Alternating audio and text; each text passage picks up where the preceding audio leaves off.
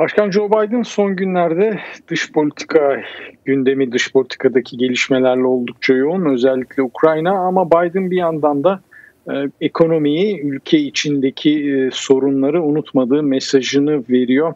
İşte bugün de Ohio'ya gitti, ekonomiyle ilgili mesajlar verdi. Ohio'ya giderken işsizlik rakamları, işsizlik başvuru rakamları da açıklandı her perşembe olduğu gibi.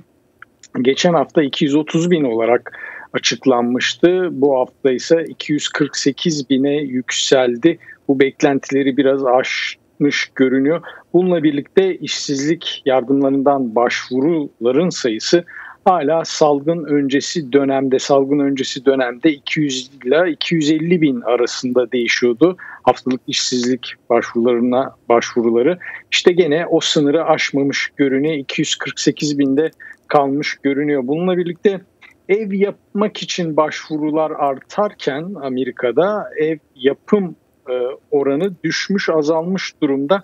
Buna da özellikle Ocak ayındaki kış şartlarını gerekçe gösteriyor yetkililer. Tabii bir de buna ev yapımında hala tedarik zincirinde ev yapımında kullanılan aygıtlarla ilgili hala tedarik zincirinde yaşanan sorunları gerekçe gösteriyorlar ki enflasyon %7,5'la son 40 yılın zirvesinde ekonomi iç gündemin en önemli maddesi diyebiliriz. İşte bu çerçevede Başkan Biden da sabah saatlerinde Ohio'ya gitti.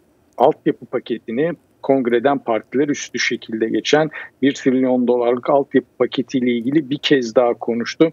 Özellikle bölgedeki Great Lakes bölgesinin, Ohio civarındaki Great Lakes bölgesinin temizleneceğini, çevresel yatırımlar yapılacağını söyledi Ohio'da.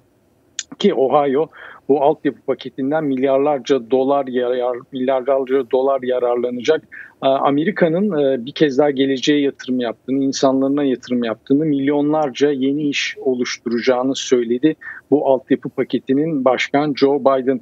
Özellikle Başkan Biden bir yıl içinde iki defa Ohio'ya gitmiş oldu diyebiliriz ki bu Kasım ayındaki seçimlerle de oldukça alakalı. Kasım ayında Ohio hem valilik seçimi var hem senatoya bir senatör gönderecek Ohio.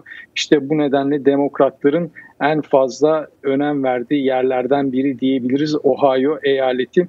Tabii bu son verilerle birlikte özellikle işsizlik rakamları diyelim e, Merkez Bankası üzerindeki faiz arttırımı daha da arttı diyebiliriz. E, Mart ayında bütün gözler Merkez Bankası'nın Mart ayındaki toplantısında bu sene 3 ile 4 artış bekliyorlar ama bugün e, kamuoyunda Amerikan medyasında okuduğumuz kadarıyla 7 defa faiz arttırımına gidebileceği söyleniyor. Söylentisi var ki 7 defa gider gitmez bilinmez Merkez Bankası'nın faiz artışı ama 3-4 e, çok uzun bir süredir e, Amerikan kamuoyunda tartışılan 3-4 e, defa arttırma gidebileceği yönde kanı oldukça yüksek diyebiliriz. Mehtap.